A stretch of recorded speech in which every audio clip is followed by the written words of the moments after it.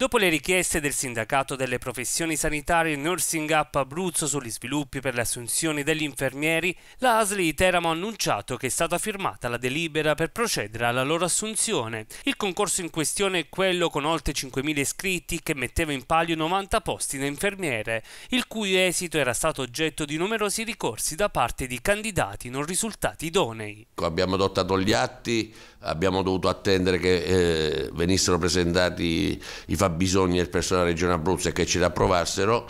Dopodiché eh, abbiamo predisposto l'atto di assunzione di questi 90 infermieri. Certo, innanzitutto ci consente di avere una, una, graduatoria disponibile per le future assunzioni, in parte va anche a risolvere delle problematiche, però tanti infermieri già prestavano a tempo determinata la loro attività, non è che noi potevamo lasciare gli ospedali senza l'assistenza. Questo però ci dà eh, uno strumento che ci consente anche di poter incrementare le dotazioni considerando il fatto che la Regione ha anche aumentato il budget a disposizione dell'ASL di Teramo per eh, i tetti di spesa appunto per consentirci nuove assunzioni. Va ricordato che la ASL, pur approvando la gradatoria un anno fa su consiglio di diversi legali, ha ritenuto di attendere la conclusione dei contenziosi avviati dai ricorrenti davanti ai giudici e a metà marzo definito in senso favorevole all'azienda il primo grado di giudizio per tutte le cause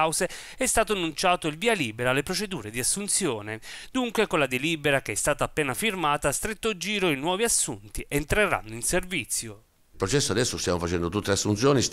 metteremo a tempo indeterminato tutti i vincitori del concorso e dopodiché faremo una valutazione di, di come poter continuare a, a, a, implementare anche la graduatoria, tenendo conto anche delle normative nazionali sulle stabilizzazioni, questo è fondamentale.